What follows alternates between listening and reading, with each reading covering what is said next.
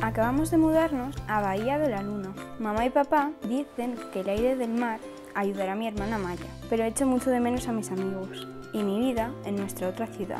Aquí siempre hay niebla y hay fantasmas. Maya quiere preguntarles muchas cosas, pero yo no quiero saber nada de ellos. Y dentro de poco será el Día de los Muertos, lo que significa que tendré que superar mis miedos y ayudar a mi hermana y a mí misma.